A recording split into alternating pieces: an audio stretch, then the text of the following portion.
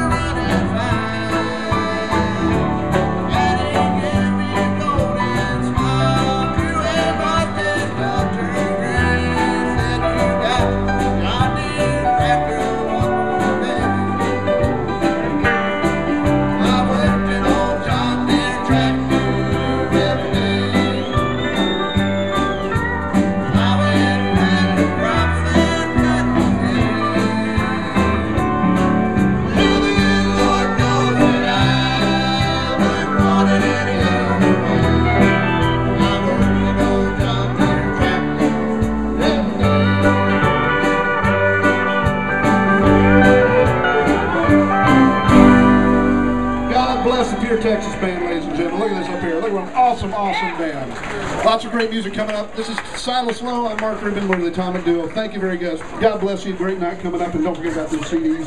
Another hand for this band, ladies and gentlemen. This is amazing, amazing. And to Howard Kalish for putting this on. Howard Kalish is responsible for all this. Thank you very much.